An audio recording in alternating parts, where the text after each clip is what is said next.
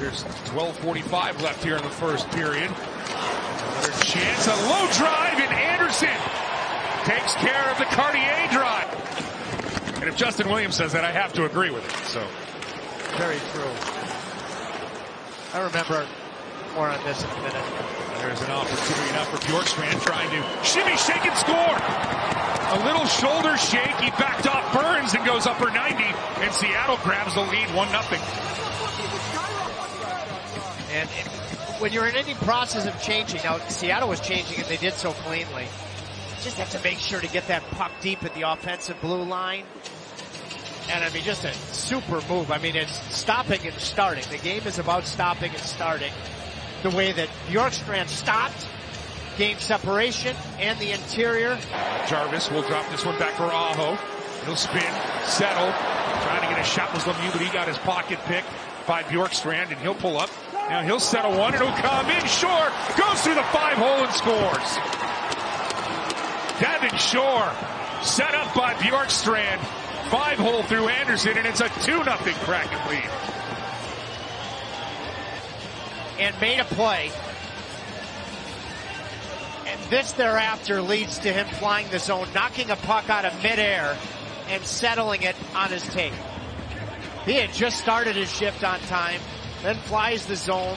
Puck was on edge and still is able to open up Andersen. Be chopped down by Bellemare. Kotkaniemi keeps it in again. Bunting fling that around Schultz and Daccord will play it. And now Carolina comes up with a steal. Kotkaniemi, side of the net. Around for Bunting for Necas. They score! Oh, that line did the hard work. And Carolina on the board. It's two to one. Marty Necas with a loose change. Clutch late third periods and overtimes last year. Dumoulin blew a tire. Daccord was indecisive, It directed it to him, and Dumoulin went heels to the ice.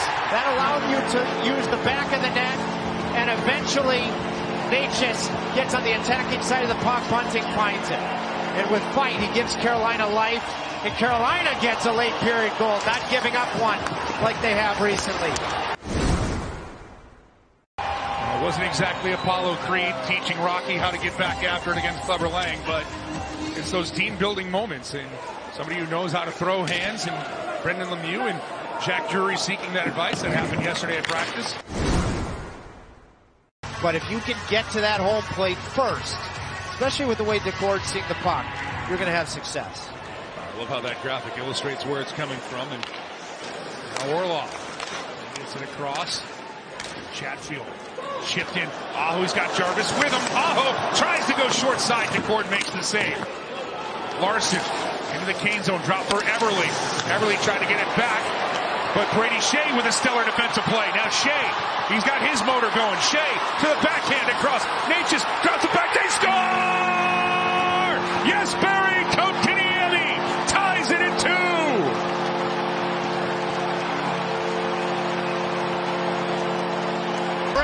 Skjei desperately makes the play, kicks it. Dorothy Wizard of Oz style from his left skate up to his tape. Eventually you have numbers.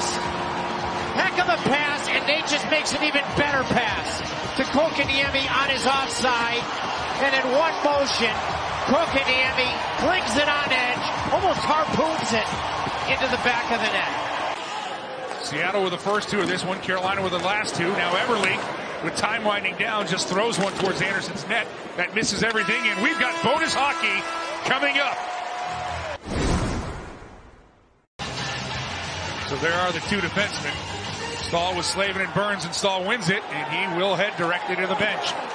Burns off the boards for Slavin. Getting the stick into McCann. 30 seconds left here in overtime. McCann gets through. Andersen makes the save. And then Burns clears it out to Aho. He had the old reach around he did. He wasn't sure if he had it. Well, he grabbed it and now Necas with it. Necas sends it across DeAngelo.